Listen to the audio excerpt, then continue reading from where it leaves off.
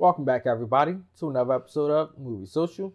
We're your hosts, Ricky and Steph. What up? What up? What up? And today on Movie Social, we're going to be doing a spoiler review for the Netflix movie Things Heard and Seen. Yeah, I know. I know. Quite a title. But before we actually get into that review, if you like what we're doing on this channel with these reviews, go ahead and uh, subscribe to the channel, like the video, and share the channel video with your family and friends. And also don't forget to follow us on Twitter and Instagram. Alright, so maybe some things should not have been seen or heard in this movie. It felt like they were trying to do too much. They were trying to handle the supernatural realm Mm-hmm. while also handling the uh, crazed psychopathic husband and tried to mash them together and it didn't fit.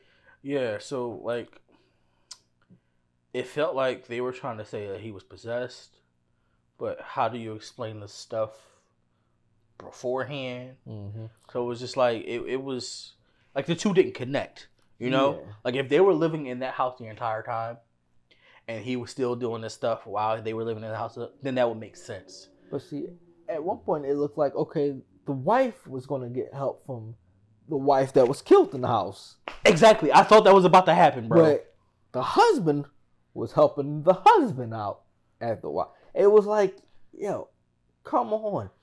It would have made more sense to have the story. Okay, the the wife and the daughter can see the wife because it was a woman and they're being tortured in a way and they don't know it by the husband. hmm And so she comes to help them.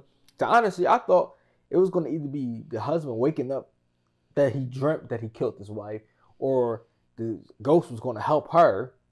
I really And I thought didn't- All all along, When I- she just got axed. when she when the ghost said i'm gonna be here to protect you or whatever it can be i'm thinking the ghost is about to help like do something to, to, to, to, to prevent this girl from getting brutally murdered and she still gets murdered I did not like the ending at all. I'm No. gonna say this. One, they didn't even end with him getting arrested or nothing. no They know he did it, trying to prove it, but and then it goes off. But come on. Like this man was doing too much killing out in the open.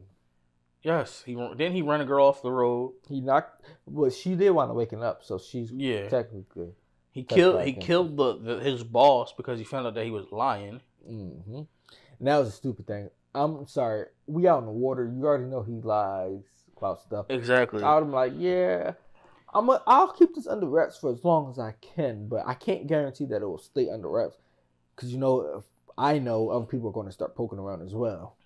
then you had honest about it. the, the revealing of him stealing his cousin's identity Yeah. Like, it was just it to me. Like I got the premise, but it felt like it was too over, too much all over the place.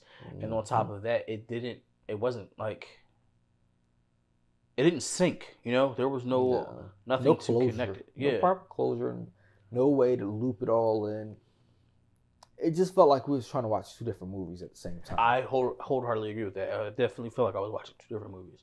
And if, like I said, if the whole thing was him living in the house all these years and then being possessed the entire time, like with the killing, like taking his cousin's Mhm. identity, and that would make way more sense. You didn't be like, oh, okay, well, this man was possessed by the demon in the house, whatever. It just, it, it's not my cup of tea. Yeah.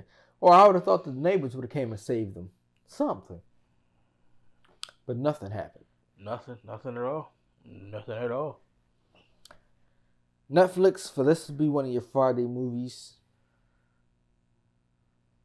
Well, not Friday, but Thursday. Weekend movies. Yeah, it was terrible. Horrible. gosh. I'd rather watch the anime, the uh, kids movie for that Friday. That looks more interesting than this was. Listen, like I said, man, there's a lot of things that should have been unheard and not seen at all. This is one of them. This is your honest, see no evil level with Kane. But that still had like you still understood that movie.